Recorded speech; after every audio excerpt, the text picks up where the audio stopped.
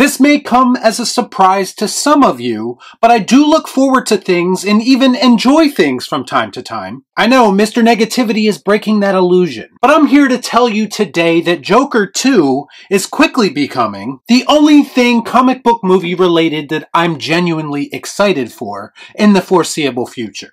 Let's discuss. I watch so you don't have to.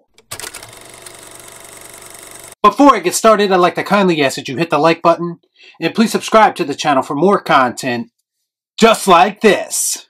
All I'm offering is the truth, nothing more.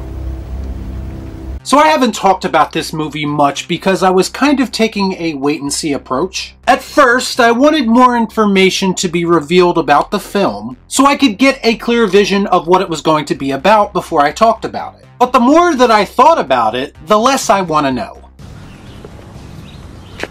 That makes sense.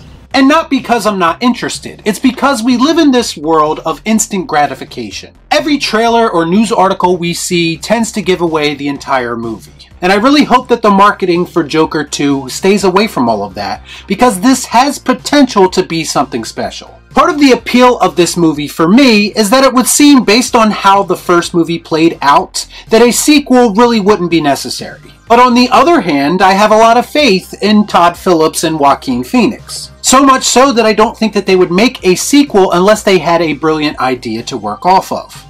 Oh, you're right. And when you're right, you're right. And you, you're always right.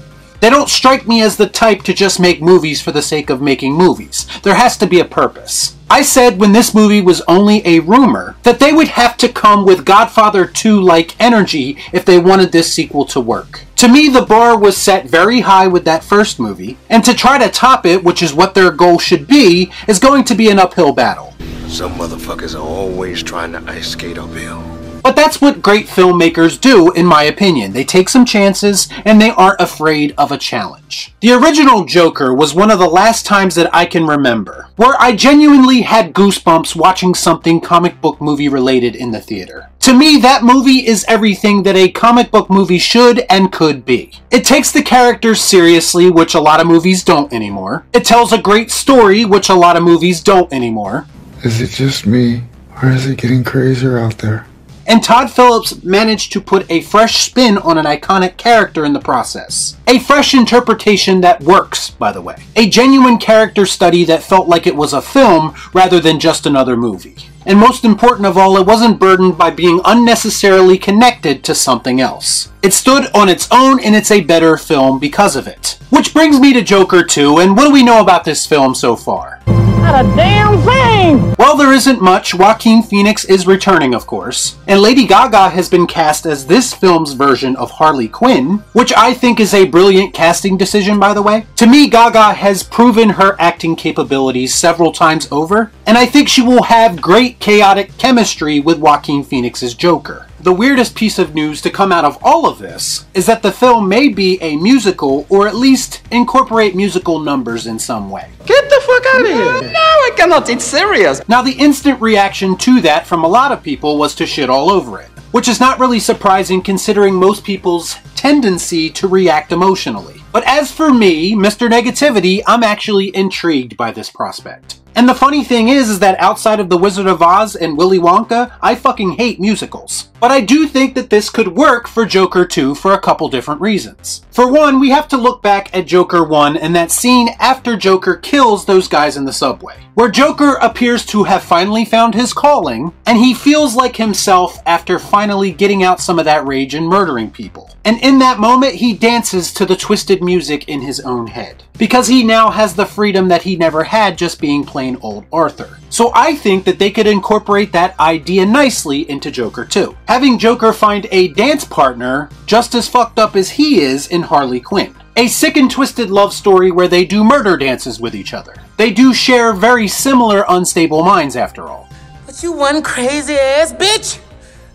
If you remember, Joker also dances down the steps in that iconic scene in the first movie as well. Again, very similarly after he murders someone. So to me, calling Joker 2 a musical doesn't sound all that far-fetched. More importantly than anything, the prospect of this film being a musical sets it apart a bit from the original as well as anything else coming out right now. And if my idea turns out to be true, it's doing what a sequel should do, and that's taking a concept that was established in the original and expanding upon it. Because it's all part of the plan. It sounds like this movie will be unlike anything else we are currently getting from Hollywood, and to me, that's a good thing. And I do have faith in the people involved to pull it off. Based, of course, on the genius status of the original. Todd Phillips also released a sneak peek first look photo from the set of Joker 2. And it isn't really much, it's just Arthur getting shaved. Whoopie fucking do.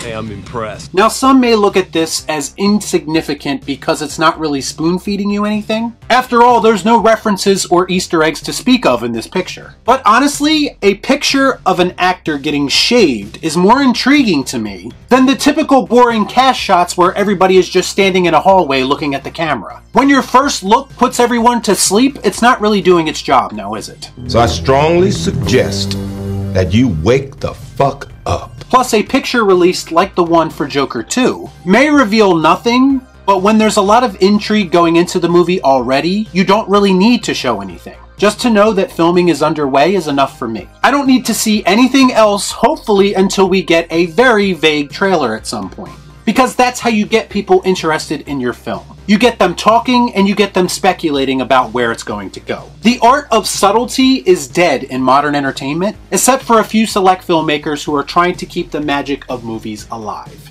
Get what you fucking deserve! So I have to be honest, even though there's not much to go off of, I'm pretty excited for Joker 2. I'm interested to see where Arthur's story goes from here, and how Harley will be incorporated into it. The original movie to me was cinema, and I'm expecting Joker 2 to keep that same energy. Plus, if nothing else, Joker 2 is sure to piss off the Twitter crowd. I'm sure they're to start calling anyone who's excited for it an incel at any moment now.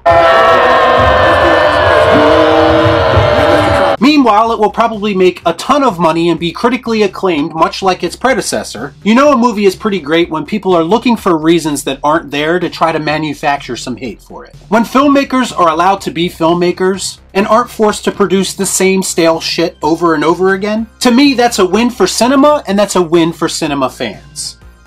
Y'all be cool. Right on.